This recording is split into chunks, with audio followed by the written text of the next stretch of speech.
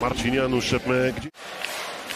No, przepraszam, jeszcze nie. Marcin Janusz, to jest ciągle piłka setowa dla Brazylii, przeciągnięta, będziemy jeszcze to grać, kapitalnie tam e, w obronie!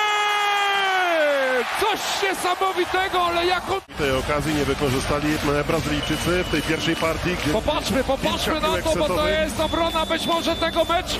A tutaj ogromne umiejętności, ta motoryka, którą posiada Kamil Semeniuk, przemieszczanie na nogach, bo trzeba było tam e, przynajmniej 4 metry odległości e, za tą piłkę pobiec i w padzie tym rzucie siatkarskim podbić.